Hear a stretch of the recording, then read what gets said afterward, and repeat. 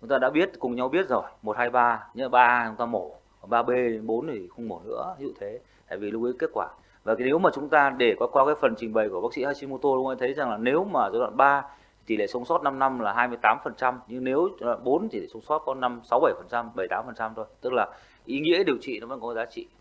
Tuy nhiên ấy, thì ờ, câu hỏi thứ nhất là có giá trị có yêu có có giá trị hay không thì chúng ta đã biết là có giá trị rồi. Đấy, tuy nhiên là bây giờ thì thực sự là cái vai trò bây giờ có rất nhiều phương pháp điều trị đa mô thức trong vấn đề điều trị ung thư phổi.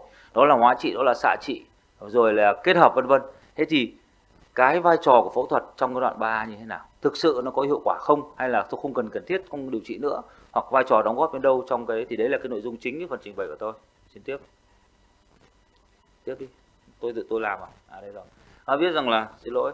À, biết rằng là cái phần trình bày lúc ấy thấy rồi là cái tỷ lệ ung thư phổi ấy là nó uh, một trong ba loại có tỷ lệ mắc mới cao nhất trên thế giới tổng kết trên thế giới và nguyên nhân gây tử vong hàng đầu trong các bệnh lý ung thư của cơ thể con người chúng ta. Đó. À, và chúng ta thấy rằng là cái ờ, ở Việt Nam thì theo thống kê của các cái của global đấy thì thấy rằng là ung thư phổi có tỷ lệ mắc cũng có tỷ lệ tử vong xếp loại hàng đầu đứng sau mỗi ung thư gan đây là cực kỳ nhiều ở Việt Nam mình và đấy cũng là một câu hỏi đau đáu của chúng tôi khi mà chúng tôi được tiếp xúc với các cái bạn bè ở nước phát triển vì ở nước người ta ấy, thì cái tỷ lệ chẩn đoán ung thư phổi giai đoạn sớm giai đoạn 1, giai đoạn 2 và giai đoạn GGO ấy thì là chiếm đến 70 đến 90% tùy từng nước. Còn ở Việt Nam mình thì đến 7 80% là chẩn đoán giai đoạn 2 và giai đoạn 3 thậm chí giai đoạn 4 rất nhiều.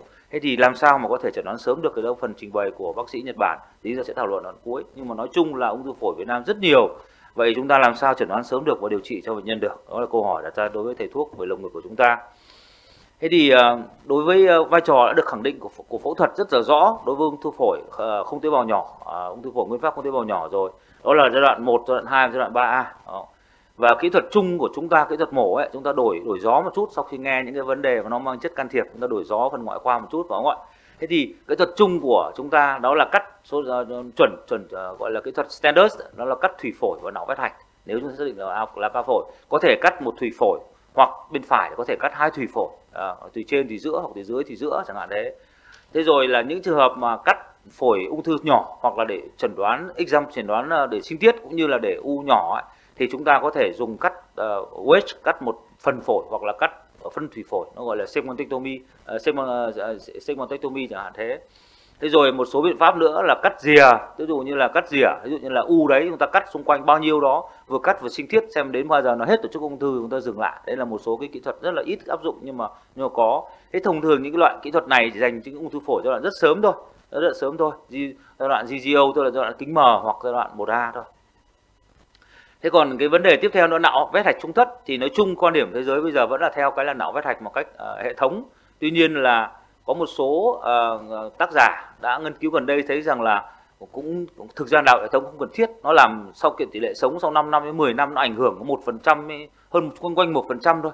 Cho nên có lẽ là không cần thiết phải nạo hệ thống mà chỉ nạo theo vùng. Ví dụ ung thư vùng này thì nạo này ung thư vùng kia nạo kia và thậm chí những trường hợp mà uh, ung thư mà ừ, nó rất nhỏ thì người ta lấy một cái mẫu hạch ở gần đấy nó gọi là sampling sampling tức là lấy một cái hạch bất kỳ chúng ta làm thử mẫu ngẫu nhiên để xem nó khả năng ung thư di căn hay không thôi chứ còn không cần thiết phải lấy hạch. Đấy là những cái quan điểm rất là mới bây giờ. Tuy nhiên đa số vẫn là phần lớn như trên 50% vẫn ủng hộ cái xu hướng là não vết hạch một cách hệ thống. Cái đấy chúng ta cũng còn thảo luận trong tương lai. À, về phương pháp tiếp cận của nó của, của cái phẫu thuật ấy, thì có thể chúng ta mở ngực truyền thống rồi mở ngực có nội soi hỗ trợ, rồi mổ ngực có nội soi hoàn toàn, rồi mổ bằng robot tức là rất nhiều cách tiếp cận khác nhau. Các cái đường với cái, nó khác biệt cái gì? Thứ nhất là khác biệt vào các cái đường rạch ra lỗ rạch ra nó khác nhau như thế nào. Thứ hai là cái dụng cụ đưa vào một lỗ hay nhiều lỗ, các dụng cụ sử dụng phẫu thuật nó khác nhau. Cái thứ ba là người mổ hay là máy mổ hay là nhìn màn hình có nội soi hay không có nội soi. Đấy là các cái các cái kỹ thuật khác nhau. Và tùy theo, cái này thì không phải nhất thiết cái nào hiện đại cái nào, mà quan trọng nhất là cái hiệu quả điều trị cho người bệnh. Đó là quan trọng. Thành ra là kể cả những nước phát triển như là pháp à, cách đây mấy năm tôi có thăm những trung tâm phẫu thuật rất lớn lớn nhất về lồng ngực ở pháp thì thấy người ta vẫn đa số người ta mổ mở kinh điển với đường mổ rất là to bình thường hiệu quả điều trị rất là tốt và thậm chí sau mổ người ta trả trùng giảm đau thì cả bệnh nhân trả đau vẫn đi lại bình thường. Nên thấy rằng rõ ràng cái điều trị đa mô thức điều trị bằng cái tâm tâm lý liệu pháp rất quan trọng chứ không phải cứ là chúng ta cứ phải mổ nhỏ hay không. Thế tùy theo cái điều kiện của mỗi nơi kinh nghiệm phẫu thuật viên phương trang thiết bị áp dụng chúng ta có thể lựa chọn cách mổ khác nhau. Tuy nhiên cái mục tiêu điều trị thì phải đảm bảo tốt tức là phải cắt hết phần thủy phổi và não vết hạch trong ung thư cho bệnh nhân để nó sớm cái việc điều trị phối hợp với hóa trị xạ trị ờ, đối với đặc biệt đối với giai đoạn 2, giai đoạn 3 hoặc là không phải phẫu thuật được ấy, rồi một loạt các cái liệu pháp ờ, khác ví dụ như liệu pháp điều trị ờ, đích rồi điều trị miễn dịch thì là cái phương pháp điều trị rất là hiệu quả trong thời gian gần đây. Nó làm nó điều nó làm tăng cái hiệu quả điều cái hiệu quả điều trị với phương pháp nó gọi là đa mô thức đấy điều trị gần đây. Thế thì cái một cái phương pháp điều trị cuối cùng nữa đối với ung thư phổi đó là cắt toàn bộ phổi. Cắt toàn bộ phổi thực chất nó không phải dành giai đoạn 4 hoặc bao B mà còn phổi trong trường hợp mà ung thư nó nằm ở cái vị trí mà tế nhị quá nó nằm đúng ở cái rốn phổi mà nó liên quan đến cả ba cái thủy phổi hai thủy phổi bên trái hoặc ba thủy phổi bên phải. Trường hợp đó chúng ta phải cắt cả cái phần phổi bên ấy đi để điều trị ung thư phổi. Tuy nhiên là đối với bên phải sẽ nặng hơn bên trái vì bên phải chúng ta cái, cái, cái tỷ lệ cái phần thành phần thông khí của phổi phải nó có ba thùy thì nó nhiều hơn bên trái. Thành ra nếu cắt cái toàn bộ phổi bên phải thì thường sau mổ nặng nề hơn là ở bộ phổi bên trái đây là trên bên cạnh là mấy cái hình ảnh chúng ta thấy rằng phía trên là cái hình ảnh cắt chêm đấy rồi cắt một phân thủy phổi rồi cắt thủy phổi là hình ảnh dưới ở bên uh, trái. Các bạn đó là cái hình ảnh dưới trái là cắt thủy phổi điển hình. Thế còn cắt hoàn độ bên phổi là cái ảnh dưới cùng bên tay phải. Đấy là những cái hình ảnh minh họa chúng ta thấy. Thế cái kết quả chung mà nói ấy, nếu mà chúng ta điều trị chỉ định đúng điều trị đúng rồi kết hợp với phương pháp điều trị khác ấy, thì đối với giai đoạn một chúng ta sống tỷ lệ sống cho đến năm khá cao. À, thậm chí giai đoạn 3A thì cũng được 25 đến 40 phần trăm sống được trên 5 năm sau mổ. À còn đối với giai đoạn 3B và giai đoạn 4 thì chỉ có dưới 10 phần trăm trong 5 năm đã được biết rồi. Đây là trường hợp mà kinh điển. Cái hình bên cạnh là hình cắt thủy phổi có u cộng với nạo vết hạch. Đấy là những hình ảnh rất điển hình của một cái phẫu thuật thông thường.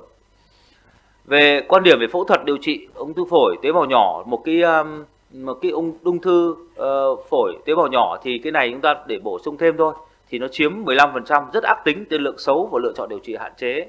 Cho đến gần đây ấy, có một số khuyến cáo được đưa ra có thể có thể được lựa chọn trong một vài trường hợp rất là hạn hữu thôi. Tức là đối với ung thư phổi tế bào nhỏ thì việc chỉ định mổ là chỉ chỉ định rất là ca bậc ca tức là từng trường hợp một và thảo luận hết sức kỹ đối với ung thư nhỏ. Và cái hiệu quả điều trị nó cũng có cải thiện chút ít so với không mổ ở một số trường hợp. Chính vì vậy cho nên đây là cái vấn đề thảo luận. Chúng ta không nằm nội dung của cái buổi trao đổi chúng ta hôm nay. Tôi chỉ giới thiệu cho các bạn biết như vậy các bạn biết như vậy thôi.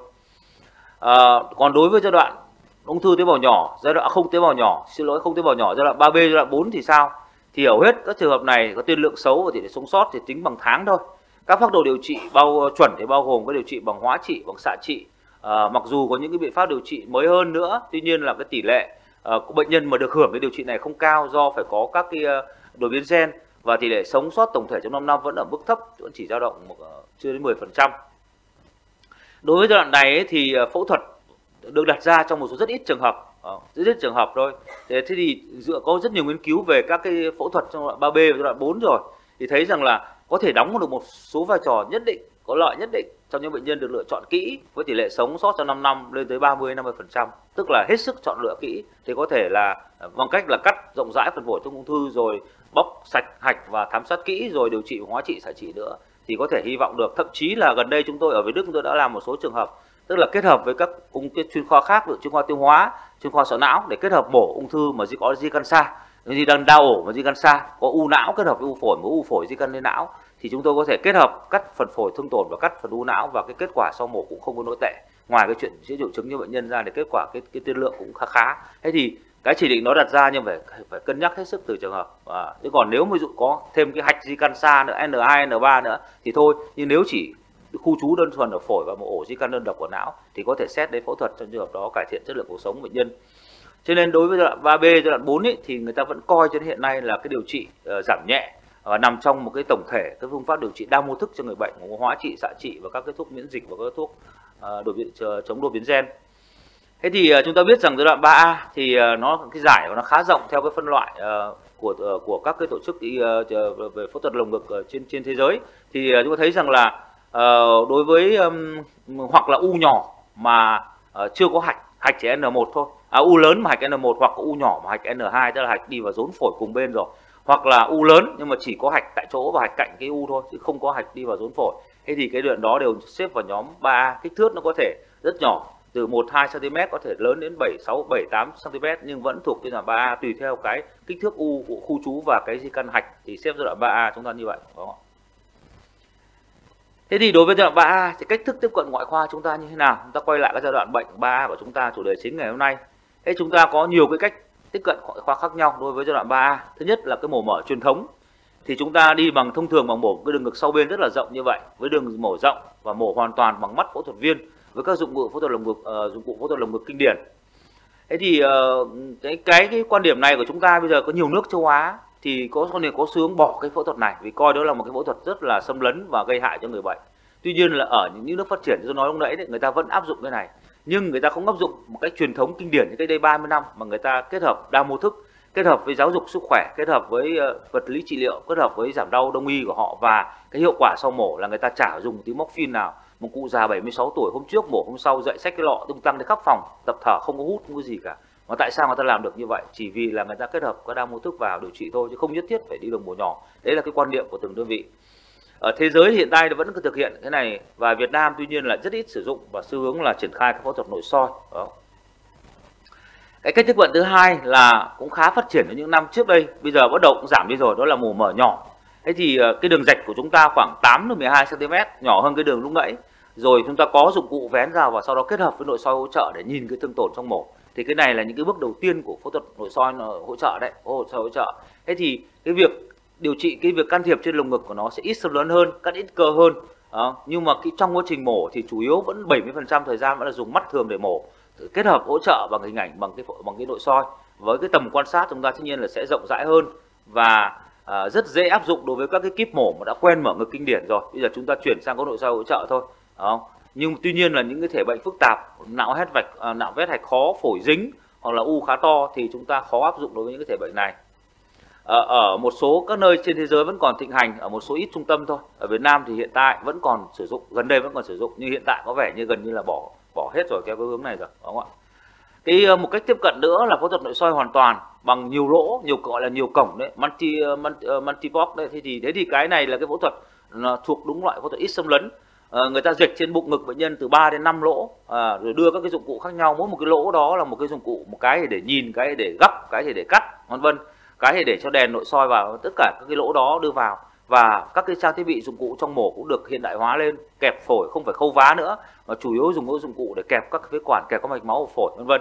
Thế thì cái phương rồi các cái hiện các cái dụng cụ trong quá trình mổ ví dụ như là dao điện rồi dao siêu âm rồi dao ờ, uh, ligasua hàn mạch vân vân tức là rất rồi cái các cái clip ờ, các cái emolog chẳng hạn đấy tức là giảm thiểu cái động tác can thiệp trực tiếp của đôi tay vào cái phổi bệnh nhân đi thì cái này cũng là cái phương pháp điều trị rất phát triển ở những năm trước đây. Và hiện tại vẫn còn tương đối phát triển ở nhiều nước trên thế giới trong đó có Việt Nam. Thế thì uh, uh, đấy thì vì cái này thì cái kỹ thuật này ấy, do là cái thuật nội soi tức là cái hướng nhìn được sử dụng động tay khác nhau cho nên là rất phù hợp với cái kíp mổ mà trẻ. Cái kíp mổ sau này khi mà người ta rèn luyện quen rồi các bạn biết rằng là ngay cả mổ tiêu hóa giờ các bạn mổ nội soi gần hết rồi không mổ mở mấy. Thành ra là những cái rất phẫu thuật viên trẻ là rất quen các cái động tác mổ và bằng cái dụng cụ nội soi này nó phù hợp. Đó.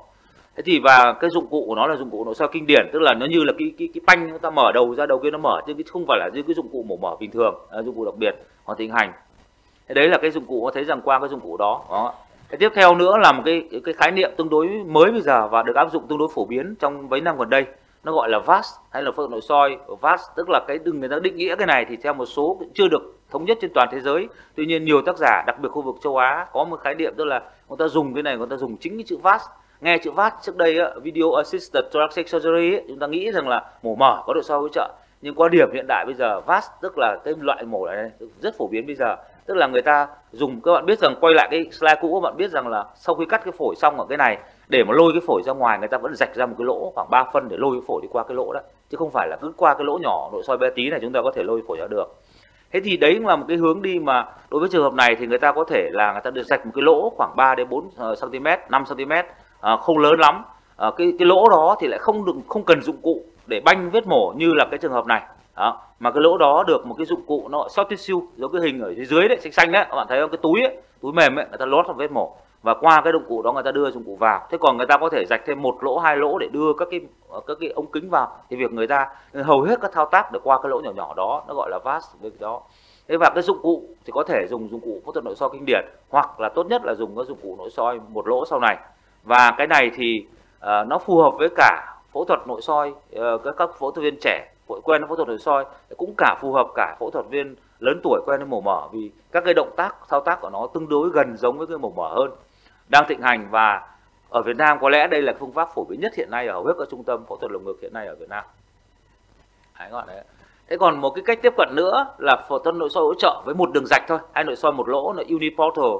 Cái này cũng là thuộc cái VAS thuộc cái VAS nhưng mà cái phẫu thuật mà nó bây giờ đang cập nhật ở một số trung tâm à, trong đó ở Việt Nam có một vài trung tâm nó bắt đầu như Việt Đức Bạch Mai trong miền Nam như là bắt đầu làm thế và ở châu Á thì rất mạnh là ở Đài Loan thế rồi bên châu Âu thì thằng à, ông Tây Ban Nha rất là mạnh với cái này. Ông à, Ý ông Tây Ban Nha rất là mạnh với cái này. Đó là cái phẫu thuật nội soi một lỗ. Nó khác biệt hoàn toàn cái nội soi khác là chỉ rạch đúng một lỗ trên ngực các bạn thấy không? Có một cái lỗ nhỏ đấy khoảng 3 đến 4 phân, hai, ba phân gì đấy, mà có cái túi bọc nhựa nó bọc vào đấy. Và tất cả các dụng cụ nội soi là đưa qua cái lỗ ấy và làm việc hết. Thế thì chính vì vậy nên là nó đòi hỏi, một là cái dụng cụ nó đặc vụ đặc biệt. Không thể giống với dụng cụ nội soi cũ được. Dụng cụ nội soi, dụng cụ này nó giống như cái mổ mở ấy. những cái đầu khi mà chúng ta xoay cắm cái này dụng cụ mở ra kéo cắt thì cái đầu cái bé tí nó hở ra còn tất cả cái que đưa vào cái vết mổ là que thẳng.